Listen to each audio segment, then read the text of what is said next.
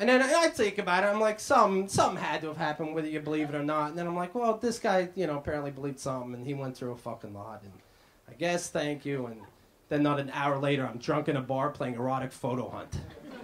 Everybody on the same page? You know that? That touchscreen game they have in bars where you point out the five differences between the two pictures and you play the erotica version? And it's got these chicks, like, you know, naked or half naked, and they're looking mischievous, or like someone was just shoved up their pooper. Ooh. Right? But what's funny about the game is that five seconds into it, you're not paying attention to the titties at all you're like paying attention if the flowers in the vases match. Ne- I've never cared less about titties so much in my life. I'm like, I think the windows on the boat on the left. I think there's more windows. The water on the right. I think the water on the right's contaminated. Ah, uh, the left one has an extra fat roll. And even if you are looking at the tits, you're drunk anyway. And it's like you know, you're, it's more it's more math you're doing. You're like, uh, her tits are too small. And there's my buddy. Uh, in which picture? Uh, both of them. Both of her titties way too small.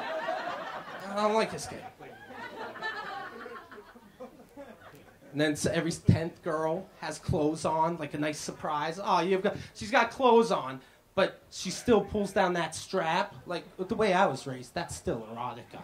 And I don't get offended. I'm like, first time cootie, cutie, because uh, don't worry, we'll have the you in the boat scenario soon enough. Don't worry about it. Who they take somebody's dad had to come across their drunk daughter in that game.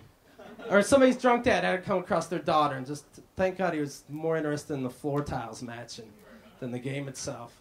Who does that and thinks they'll never fucking regret it, ever? They'll never regret. Same chicks that go to like Mardi Gras and they see a strange camera and they're like, oh, titties, I'm gonna be drunk and have fun forever and I'll never regret this.